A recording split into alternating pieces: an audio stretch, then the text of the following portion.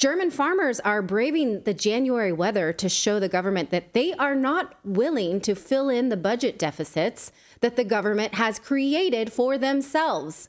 It's not the farmers that created budget deficits. Now, the way that it works in Germany is when they have a deficit, it's illegal. It's not like in the United States where the debt clock can just run up to our heart's content.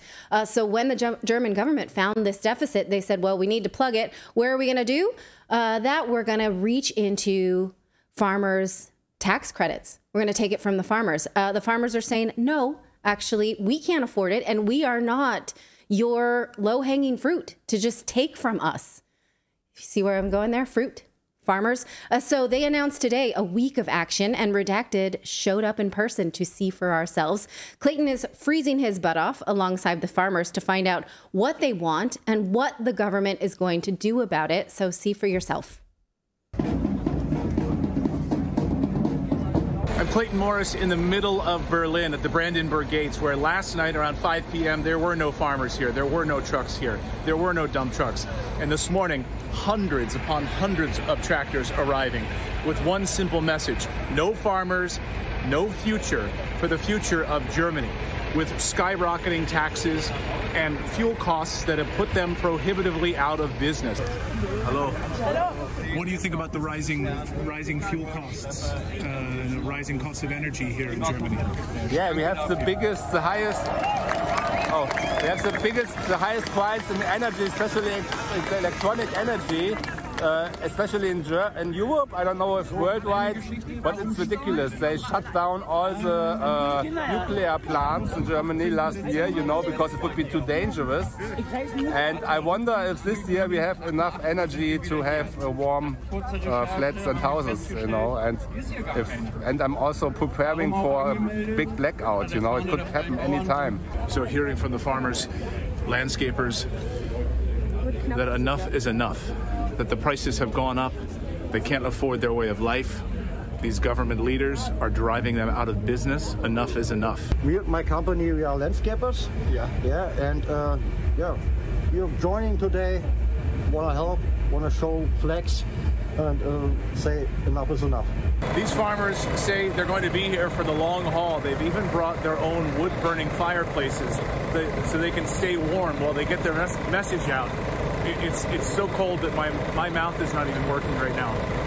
So you guys are gathered here around the fire. Yeah. What time did you guys get here? We came here around eight eight o'clock. Eight o'clock last night. Why did you come here?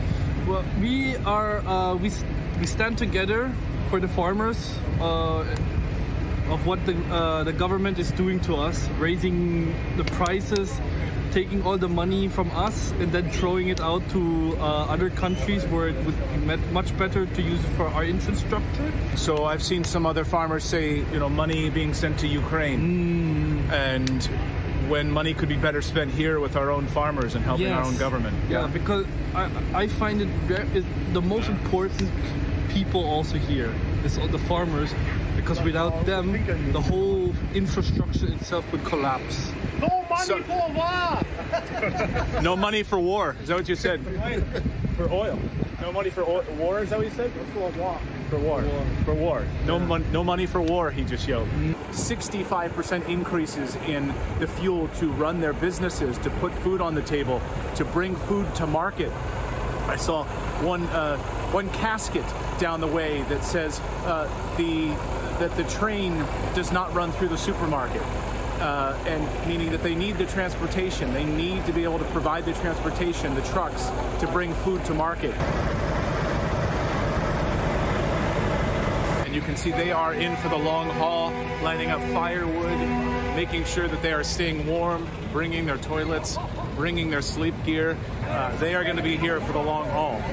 85% higher. Wow. Yeah, it's, it's not, uh, not okay we take a million euro here and here and here, and we work, work, work. We have no money. No? Okay. So you hope today that do you want your government to be overthrown or do you want the regulations to be removed? We hope the government go away. You want the government to go away? We need a new government. Not my president, not my government. So you don't want this government? No. No? No. Do you want a new government? Yes, because our government at the moment it's far too left. Interesting to hear from a lot of the protesters. They don't have any farmers in their family. They aren't farmers. They're simply here bringing their cars, bringing their trucks in a show of solidarity with the farmers. Do you have farmers in your family? Um, no. No. No. Why are you here today? For demo? For them? For them? Yeah. A lot of the Western media has tried to portray these protesters as far-right extremists. Uh, behind me here, you can see the the Associated Press is doing interviews here. The German media also doing interviews. Of course, uh, in their coverage over the past few days, they've been painting these uh, folks as extremists, far right extremists, uh, similar to Trump supporters. And of course, the protesters and farmers I've spoken to have said that is ridiculous. We're not far right, we are realists. We realize that our taxes have gone up, our prices for fuel have gone up. We can't run our business. We are not far right extremists it happens the same thing like always. They say, okay, the protesters are right wing. Politicians, uh, what they said the last days about the farmers is uh, possible. They, yeah, uh, my English is not that good, but they were very mean to them. They said bad things about the farmers. They uh, treat them like animals. Then they are right wing right-wing extremists. That's how right-wing extremists. Uh, that's a problem. Hello. Oh, thank you. Oh, thank you so much. See, they're just handing out food. Thank you so much. What is that? That's uh, Thank you so much. No, these farmers need it more than I do, but thank you so much. Thank you. Thank you. That's that's the kind of people they are. Just handing out food, making sure that you're warm, Come please stand near our fire as I walk around and talk to the farmers who tell me we are not far right extremists. The media here in Germany has been painting these protesters as far right MAGA extremists, the same way that Justin Trudeau's government in Canada painted the trucker convoy as far right white supremacists. In fact, the truckers here are telling me they're just realists. They see their prices going up, their inability to put provide for their families, provide for their companies. Their businesses are going under. Their fuel costs are skyrocketing. Does that make them far right extremists? No. This is their message. We are not far right extremists. We are realists. From what we can see here, people are just trying to live, trying to survive, trying to have their next meal. But so you're not an extremist. I'm not an extremist. I am more of a realist. I see what people uh, are struggling with because I also started from the bottom with my family and I've seen the struggles and what what's happening now is not no, uh, a normal uh, government anymore. It's almost, you could say, like a dictatorship. Remarkable to think of these protests just a few meters away from where remnants of the Berlin Wall stand. And of course, 1987, Ronald Reagan stood right here and demanded that Gorbachev tear down this wall. Mr. Gorbachev, tear down this wall. So this is the scene from the middle of Berlin where the farmers and protesters tell me they're not going anywhere. They've got their fuel, they've got their wood to keep warm, they've got their food. They are not going anywhere until their government listens to them. This is a week of action which could continue for many, many weeks until they get their government to stand up and support them instead of sending money to foreign wars and sending money out of their country. I'm Clayton Morris for Redacted.